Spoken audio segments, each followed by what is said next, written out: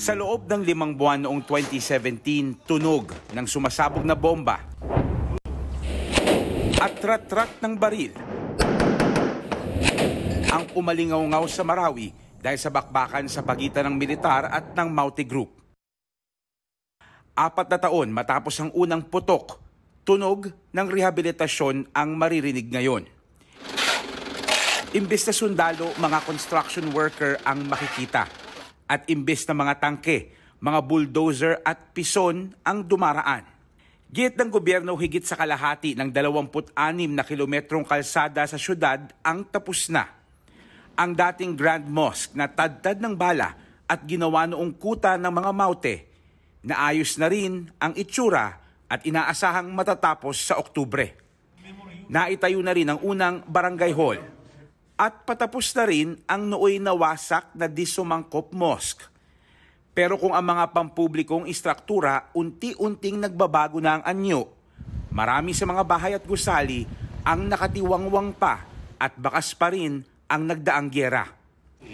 Ayon sa Task Force Bangon Marawi, Oktubre inaasahang papapasukin na ang mga taga Ground Zero. This will be for those who have the capacity to construct their houses and their buildings.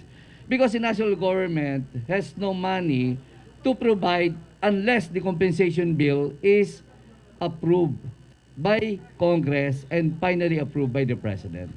Ayon sa Marawi LGU, higit 2,000 na ang nag-apply ng building permit at apat na raan na ang nakabalik na sa labas ng Ground Zero para makapag-construct.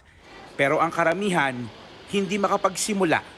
I'm urging my uh, our legislators the, from the Senate and uh, from the uh, House of Representatives na bigyan ng uh, uh, prioridad yung pagpasa ng compensation bill because ito yung makakatulong kahit na matapos lahat ng ating infrastruktura dito ay mas uh, kailangan po ang uh, tulong para sa ating mga uh, individual. Kumpiyansa naman ng palasyo na matatapos ang rehabilitasyon ng Marawi sa 2022. Ang pangako po ng Presidente, babangon puli po ang Marawi at ang pangako po niya ay sa kanyang termino. Para sa civic leader na si Drieza Lininding, mahalaga na makabalik na ang libo-libo pa ring mga pamilya na tinamaan ng Marawi Siege.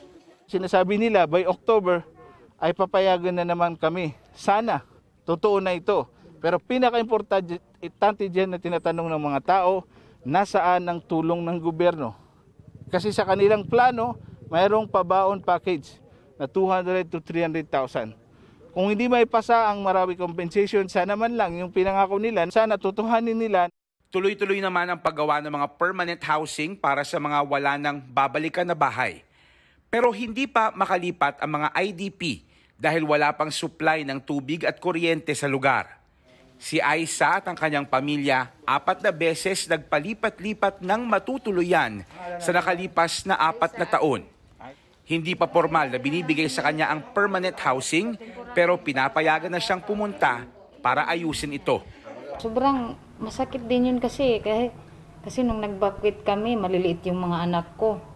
Yung anak ko pa noon, apat. Tapos yung pangapat, one year pa lang, tapos nagdi-daddy pa yun.